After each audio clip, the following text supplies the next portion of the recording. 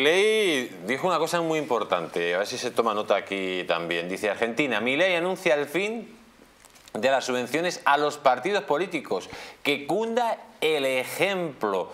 Señor Cárdenas, eh, lógicamente eh, los partidos políticos tendrían que financiarse con las aportaciones de sus afiliados. ¿Por qué tengo que estar yo pagando impuestos para pagar, por ejemplo, a un partido como Junts o a un partido proetarra? O sea, que se financien con su dinero, que vivan de su dinero y que, lógicamente, no nos metan mal las manos en los bolsillos a los trabajadores. Mi ley ha dicho que eso se ha acabado en Argentina.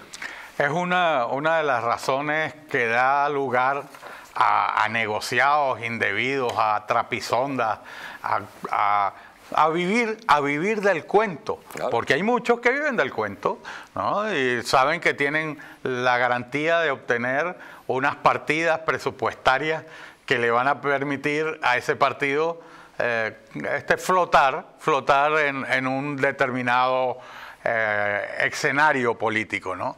Bueno, pues ahí hay otro acierto de mi ley.